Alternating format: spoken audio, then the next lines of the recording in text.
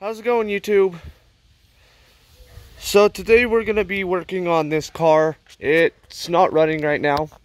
Um, I was driving it yesterday, pulled into the gas station, heard loud bang, and now it won't crank.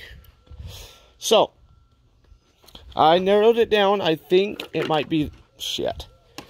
No, it's not shit. But, you know, I think it might be this. This is the crankshaft position sensor. You can see how damaged it is. So, where that's located on the 96. Now, I actually got that off of a two. I got the one, this new one, off of a 2000 with the 2.0. So I guess if you have the 1.8 or the 2.0, I think it's the same engine, just bored out a little differently. So here's this one, which is a little dirty. We'll see if it'll work. But I also got found this one, and we got I got these from a junkyard. So I actually got this one that looks brand new. So where that's located is down there. See, there's the bolt for it. It goes in that little, little hole right there. And then that's where it bolts in. So we're gonna go ahead, get this green wire out of the way, and install this and see if I can't get this car to crank. Well, I don't know what happened. I heard a loud pop.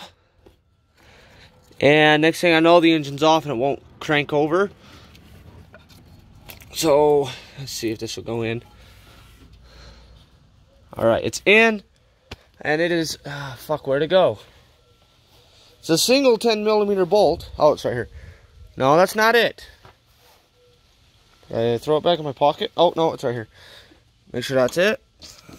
Well, I can zoom out now. Okay, that's it. So what we're to do is I'm to get the bolt started up. Alright, so I got it started. We're to go ahead and find my ratchet. My ratchet. My right here. We're to tighten it up a little bit. And see what happens. Alright, so we got it bolted in. I'm to take it and plug it in. And I think this needs to be on it. So let's put that in there too. All right, it's in. Let's see if this bad boy will start. Get the key out here. Yeah, I pulled it in the Maverik, heard a loud bang, and it would just crank over. That was it.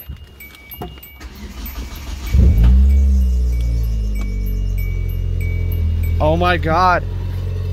That's what was wrong with it.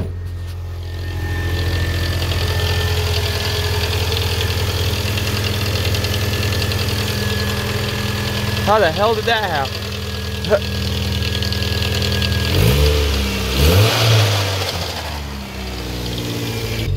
All right, guys. Well, that fixed it. I'm still confused on what the hell the loud bang was. Unless, you know what? I'm wondering if the loud bang, I wonder if the flywheel smacked this, and that's what the bang was, and then the sensor fucked up. Because it fires right up now, which sucked because I put a full tank of gas in here and drove to see if my buddy was home, which he wasn't. Went back to the gas station, and just as I got back, that's when that loud noise happened. So we had to tow it home. And AutoZone and O'Reilly's wanted about $70 for a brand new one. So, yeah, you guys can see I kind of got pissed and kicked the shit out of the car. Nice big dent right here. I got pissed. I was like, you piece of shit. Boom. And then when my sister got there to take me home, I was like, I fucking hate this car. Jumped up, hit here, and my boot slid down. Because I ran toward it. I ran like this and went, what? Bam. Oh, yep, see, it happened again. all right, guys. That's all for today, and